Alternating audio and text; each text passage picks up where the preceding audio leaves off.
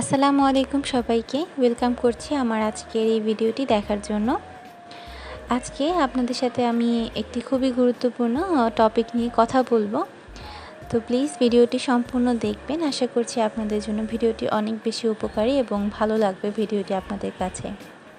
তবে তার আগে আমার গত ভিডিওটি আপনারা সবাই অনেক বেশি পছন্দ করেছেন, অনেক অনেক ভালোবাসা দিয়েছেন। আলহামদুলিল্লাহ আলহামদুলিল্লাহ সব কিছুর জন্য আপনাদের সবাইকে অনেক অনেক ধন্যবাদ। তো আমি গত ভিডিওতে শেয়ার করেছিলাম যে সুখী হওয়ার জন্য আসলে ঠিক কী প্রয়োজন বা ঠিক কোথায় গেলে সুখ বা শান্তি আপনার সন্ধান পেতে পারেন। তো আসলে এই ভিডিওটাকে আপনারা সবাই এত বেশি ভালোবাসা দিয়েছেন।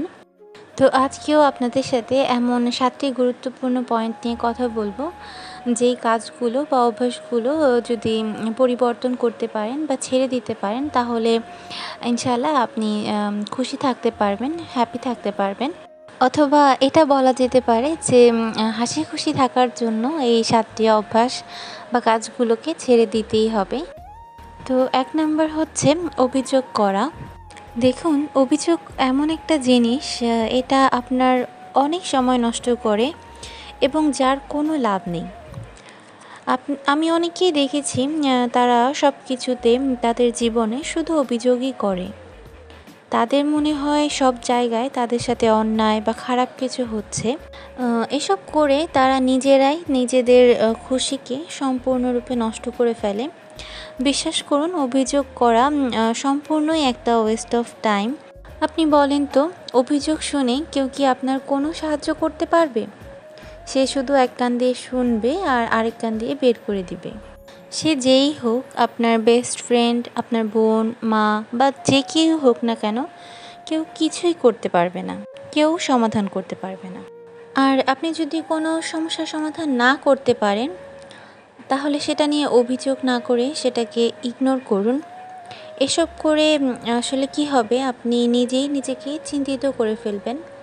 আপনি নিজেই আপনার মেন্টাল হেলথ ফিজিক্যাল হেলথকে খারাপ করে ফেলবেন।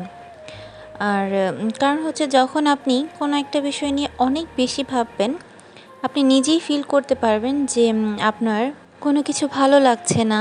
আপনি কোনো কাজ ঠিকমতো মন দিয়ে করতে পারছেন না। এবং আপনি ডিপ্রেশনে চলে যাচ্ছেন। তো বিশ্বাস করুন, আপনি অভিযোগ করা বন্ধ করে দিন। আর এটাই ভালো যে আপনি অভিযোগ করাই ছেড়ে দিন। দ্বিতীয়ত হচ্ছে অবাস্তব লক্ষ্য। সত্যি বলতে আমি অনেকেই দেখেছি এত অবাস্তব লক্ষ্য বা আশা রাখে, আর সেগুলো যখন পূরণ হয় না বা বাস্তবায়িত হয় না, তখন তারা হতাশ হয়ে যায়, দুঃখী হয়ে যায়। যেমন ইউটিউবিং সম্পর্কে যদি বলি অনেকে ভাবে যে আজকে চ্যানেল খুলব বা ফেসবুকে আজকে পেজ খুলব এবং কালকেই সফল হয়ে যাব আর লাখ লাখ টাকা ইনকাম করব, যেটা কি না প্রায় অসম্ভব।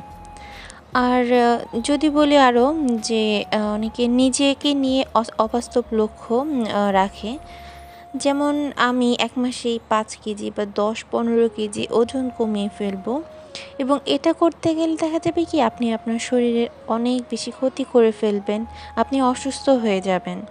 দেখুন, গোল বা লক্ষ্য এমন রাখুন যেটা অ্যাচিভ করা সম্ভব, যেটা বাস্তবসম্মত। ছোট ছোট গোল রাখুন দেখবেন সেই লক্ষ্যগুলো যখন পূরণ করতে পারবেন, আপনার মন থেকে একটা হ্যাপিনেস কাজ করবে। তিন নম্বর পয়েন্ট হচ্ছে পারফেকশন। কোনো কিছুই পারফেক্ট হয় না। কোনো কিছুই না। বা কোনো মানুষই পারফেক্ট হয় না। সবার মাঝে কোনো না কোনো কমতি থাকেই। তো পারফেকশনের পেছনে পড়ে থাকা বন্ধ করে দিন। কোনো জিনিসই পারফেক্ট হতে পারে না। যেমন আপনি সারাক্ষণ আপনার ঘরকে গোছানো, পরিপাটি রাখতে পারবেন না। আর এটা একটা বাস্তবতা। এখন আপনি এটার পিছনে পড়ে থাকবেন, বাচ্চাদের সাথে বকাঝকা করবেন, চিল্লাচিল্লি করবেন। এসব না করে আপনি নিজেকে একটা লিমিট দিন, যে না, এরপরে সব কিছু আমি স্বাভাবিকভাবে নেব নর্মালি গ্রহণ করব এবং হাসি খুশি থাকুন। চার নম্বর পয়েন্ট হচ্ছে অতীত। এটা খুবই ইম্পর্ট্যান্ট একটা পয়েন্ট অতীত এমন একটা জিনিস যেটা থেকে মানুষ খুব সহজেই বের হয়ে আসতে পারে না। এবং অতীতের সব খারাপ অভিজ্ঞতাগুলো সারাক্ষণ নিজের সাথে করে মনের মধ্যে ধরে বসে থাকে। অতীত থেকে শিক্ষা গ্রহণ করুন, অতীতকে সারাক্ষণ ধরে বসে না থেকে সেটাকে ভুলে যান। যে যা হওয়ার হয়েছে, সেটাকে সেখানেই শেষ করে দিন। হ্যাঁ অতীতে অমুকের সাথে আমার ভীষণ বাজে একটা অভিজ্ঞতা রয়েছে। আমি তার সাথে এখন নির্দিষ্ট ডিস্টেন্স মেনটেন করে চলি, যাতে করে ভবিষ্যতে আর না হয়। এরপর এই ব্যাপারে আর ভাববেনই না। ওটাকে ওখানে স্টপ করে দিন। নাকি অমুকে আমাকে এটা করেছিল? বা আমি ওই জিনিসটা কিনেছিলাম যেটা কিনে আমি ভীষণভাবে ঠকেছি, খারাপ ছিল। আর এসবই সারাদিন ভাবতে থাকবেন। এসব না করে অতীতকে নিয়ে পড়ে থাকা বন্ধ করে দিন। পাঁচ নম্বর কাজটি হচ্ছে মানুষকে খুশি করার বা রাখার চেষ্টা। জানি না এই পয়েন্টটাতে আমার সাথে কে কতটুকু অ্যাগ্রি করবেন। কিন্তু হ্যাঁ অন্যকে মানুষকে খুশি করার চেষ্টা করা বন্ধ করে দিন। সে আমার সম্পর্কে কীভাবে তার কাছে আমার একটা ভালো ইমপ্রেশন দিয়ে দিই। বিশ্বাস করুন, আপনি কাউকে খুশি রাখতে পারবেন না। এমনকি আপনি, আপনার হাজব্যান্ডকেও সেইভাবে খুশি করতে পারবেন না, ঠিক যেভাবে আপনি চাচ্ছেন।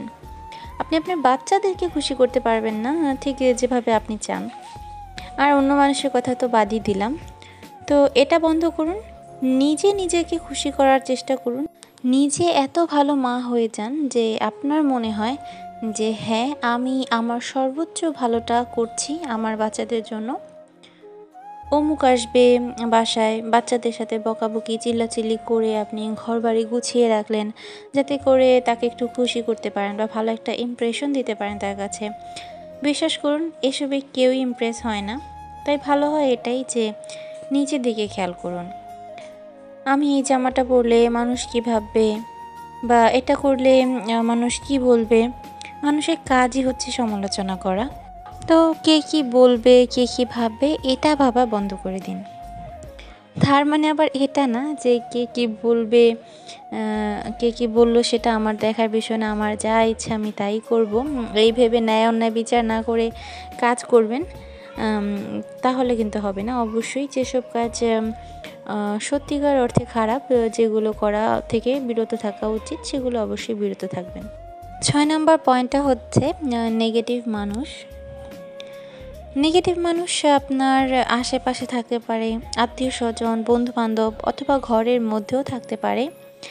আপনার একদম সামনে এক বেডরুমের মধ্যেও থাকতে পারে।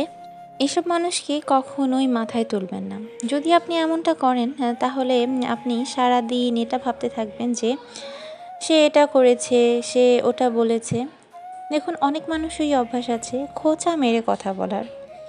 এসব মানুষকে সম্পূর্ণ ইগনোর করবেন। কিছু কিছু মানুষ আছে যারা অতিরিক্ত মাত্রার নেগেটিভ অর্থাৎ তাদের স্বভাবই হয়ে গিয়েছে নেগেটিভ কথাবার্তা বলা। মুখ খুললেই শুধুমাত্র দেখা যায় কারও না কারও গিবোধ, কারও না কারও বদনাম কারোর সমালোচনা, কাউকে খোঁচা মেরে কথা বলা, এগুলোই করতে থাকে। সম্ভব হলে এসব মানুষদের সাথে একেবারেই যোগাযোগ বন্ধ করে দিন। এদের আশেপাশেও ঘেসবেন না, দেখবেন আপনি অনেক বেশি ভালো থাকতে পারবেন। সব শেষ এবং সাত নম্বর পয়েন্টটি হচ্ছে পরিবর্তনকে গ্রহণ করতে না পারা। এমন অনেক মানুষ আছে যারা পরিবর্তন হতেই চায় না। আপনি তাদেরকে যতই বোঝান, যতই বলেন যে এটা করো না বা এই ব্যাপারটা, অমুক ব্যাপারটা নিয়ে ভেবোই না বা এটা করো, তোমার ভালো লাগবে, যাই বলেন না কেন, তারা কখনোই চেঞ্জ হয় না। আপনি যদি পরিবর্তনই না হতে পারেন, তাহলে আপনি খুশি কীভাবে থাকবেন বলেন? খুশি থাকার জন্য আপনার জীবনে পরিবর্তন আনাটা খুবই জরুরি। কিছু এমন মানুষও হয় যে, তারা ভাবে তারা সব সময় সঠিক। তারা যদি ডিপ্রেসডও থাকে, তাও ভাবে তারাই সঠিক। আপনি পরিবর্তন হন, আপনার বদভ্যাসগুলোকে পরিবর্তন করুন, আপনি আপনার ধরনটাকে পরিবর্তন করুন। বিশ্বাস করুন, এই সব কিছু আপনাকে হাসি খুশি থাকতে অনেক বেশি সাহায্য করবে। তো আজকে আমি আমার ক্ষুদ্র জ্ঞান থেকে অনেক কথা বলে ফেলেছি। আর আমার কথাবার্তায় কোনো ভুল ত্রুটি থাকলে প্লিজ ক্ষমা সুন্দর দৃশ্যে দেখবেন। আমি আশা করছি যে, আপনাদের সাথে যেই পয়েন্টগুলো শেয়ার করেছি এগুলো আপনাদেরকে অনেক বেশি সাহায্য করবে হাসি খুশি থাকার ক্ষেত্রে। তো এরপরেও আসলে মানুষ হিসেবে মানুষ মাত্রই ভুল হয়ে থাকে। আমার কথাতেও অনেক ভুল ত্রুটি থাকতে পারে, আমার সব কথার সাথে সবাই এগ্রি নাও করতে পারেন। তবে যেটাই হোক, আপনাদের ভালো লাগা, মন্দ লাগা, দুটোই কিন্তু আমাকে কমেন্ট করে জানাতে পারেন। আর আসলে মাসাল্লাহ সবাই আলহামদুলিল্লাহ যে পরিমাণ আমার ভিডিও দেখেন, কিন্তু সেই পরিমাণ কিন্তু কেউই কমেন্ট করেন না। বা লাইকও করেন না। আচ্ছা ভিডিও ভালো নাই লাগতে পারে, সেক্ষেত্রে লাইক করবেন, এটাই স্বাভাবিক। কিন্তু কমেন্টও করতে পারেন যে ভালো লাগছে বা ভালো লাগছে না। বা কে কী দেখছেন, এত মানুষ দেখেন, আমার কিন্তু জানাই হয় না যে ঠিক কারা আমার ভিডিওগুলো দেখেন। তো যারা এই পর্যন্ত আমার ভিডিওটা দেখে এসেছেন তারা আশা করছি ভালো লাগা থেকেই দেখেছেন। তো চাইলে ভিডিওটিতে একটা লাইক করে দিতে পারেন, এটা সম্পূর্ণই ফ্রি আর আপনাদের মন্তব্য অবশ্যই আমাকে কমেন্ট করে জানাবেন। ভালো লাগল জানাবেন, মন্দ লাগল জানাবেন। তো এই ছিল আমার আজকের ব্লগ আশা করছি আপনাদের কাছে ভালো লেগেছে। ইনশাল্লাহ খুব শীঘ্রই নতুন আরেকটি ব্লগ নিয়ে হাজির হব। সেখানে আবার আপনাদের সাথে কথা হবে। ততক্ষণ পর্যন্ত সবাই ভালো থাকবেন, সুস্থ থাকবেন। আমাদের জন্য দোয়া করবেন। আপনাদের জন্য রইল অনেক অনেক দোয়া ও ভালোবাসা। আজকের মতো এখানে বিদায় নিয়ে নিচ্ছি। আল্লাহ হাফেজ। আসসালামু আলাইকুম।